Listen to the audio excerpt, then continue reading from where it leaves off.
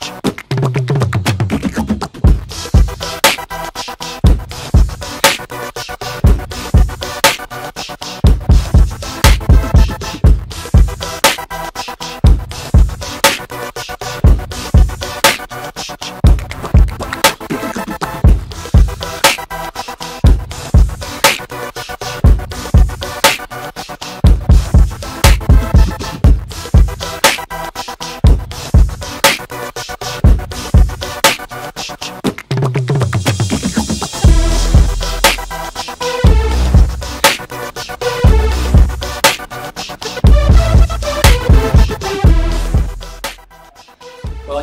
At both the very top end of the league and sometimes from year to year a little less than that, middle of the pack, and sometimes even competing uh, to just get into the playoffs. But most of them at the top of the league. Um, we're looking for great soccer players. We're looking for uh, players who understand the game, have a high soccer IQ. Uh, maybe more than anything, we're looking for someone who's a hard worker, someone who wants to get fit over the summer before they come in for preseason, someone who is not just going to get by on talent, someone who means what they say in their recruiting letters that they live for soccer and they breathe soccer and they eat soccer. We want them to be here, obviously, to get their studies done. But second only to that is soccer. Um, we want kids who are constantly trying to get better, who love competition, uh, who want to compete for positions. Playing against the best is only going to make our team better, type of thing. Um, so we're just looking for somebody who uh, not only can do all that side of the thing, but on top of that, you know, we're, we're much broader than that too. We're a college with a great campus life. So we want guys who love to get together and hang out and play FIFA and, and go um, get things to eat and, hang out together and do those things uh, as a team and as go watch other sporting events.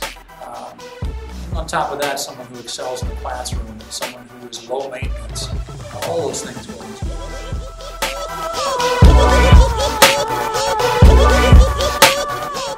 Coming here and being around a group of guys that all want the same thing as you to become better at the sport that you love, uh, it kind of brings you together.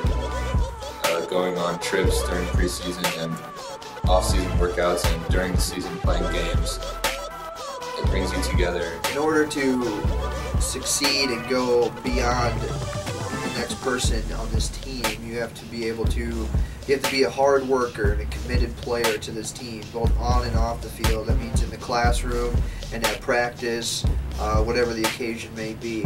Um, but you also have to do things that the next person is not. So not just come to practice and be that kind of player. You have to go into the gym, do extra ball work, do extra things on the side on your own in order to get better and reach your own goals. Because just coming to practice isn't really going to be enough. You have to do some extra stuff outside of practices to get stronger, bigger, faster, uh, better player, better touch, all those things. Work hard, be serious about practices, um, respect each other, the teammates, the coaches. We're very serious about hard work and getting better and better and better.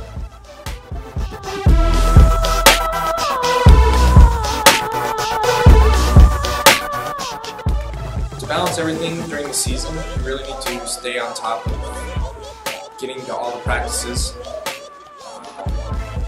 making sure you stay in shape during the season. But you need to make sure that you balance that with your classes.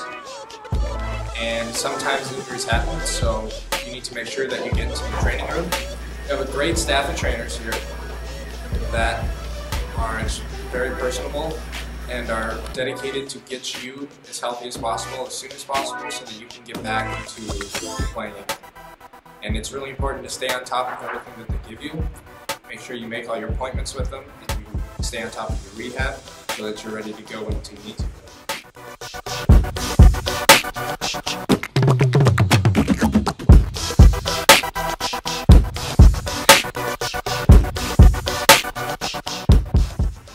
Tom has shown a real personal investment in this program.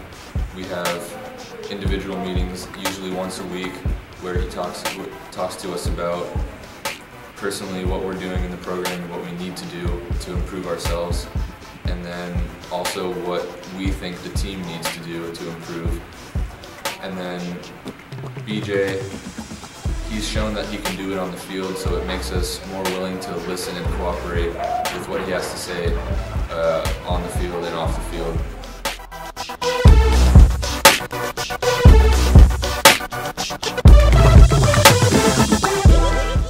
It's a group of guys with a common goal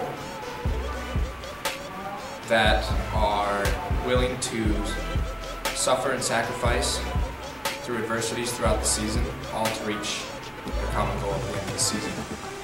And uh, this team is where you make a bunch of lifelong friends that I'll remember forever.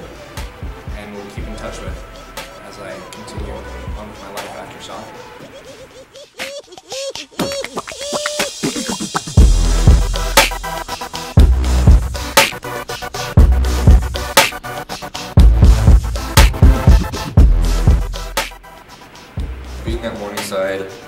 And having a smaller population of kids around campus has allowed my studies to increase.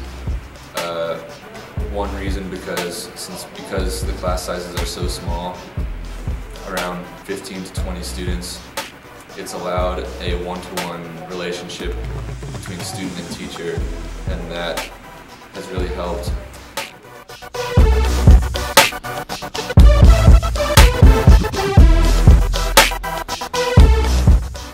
Thank you very much for watching. Uh, we, we would hope you have continued interest in us. If you have some questions that weren't answered as part of the video, uh, put those in your email to me, Max, at morningside.edu. We'd love to bring you on campus, as I said before, um, to spend time with the guys, to play with us, to show us everything you have, and more importantly for us to show you truly what we have. Um, we are very thankful that you have an interest in us and we'll do everything in our power to show you that we might be a good place for you. Venha para Morningside.